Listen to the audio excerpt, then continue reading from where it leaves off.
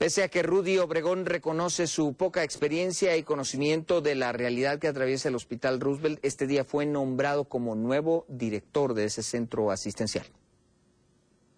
El médico Rudy Obregón fue presentado como nuevo director ejecutivo del Hospital Roosevelt, que ocupará por primera vez un cargo público. Anteriormente, el profesional trabajó en investigaciones y programas de servicio social. Trabajé en el ejército por 12 años, eh, en, áreas, eh, en áreas eh, hospitalarias y administrativas también. Posteriormente hemos estado en, ayuda a la población en cuanto a jornadas médicas, tanto individuales como grupales, y, y en toda la República.